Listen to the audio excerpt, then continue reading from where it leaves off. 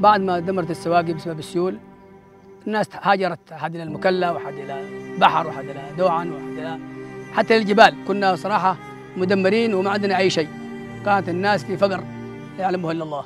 وقت عصيب. والله أنا لما نزلت مزرعتي ما عرفتها ما عرفتها إطلاقا.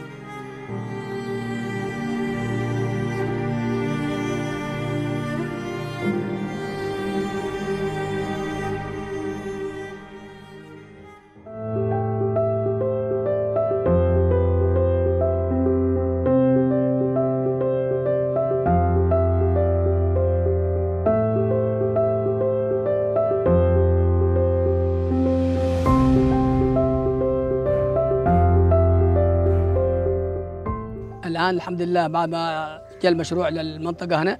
الناس قامت بزراعة الأشجار. الآن بدات تزرع من جديد. نتحصل على دخل شهري حدود 110 ألف ريال وهذا ساعدنا كثير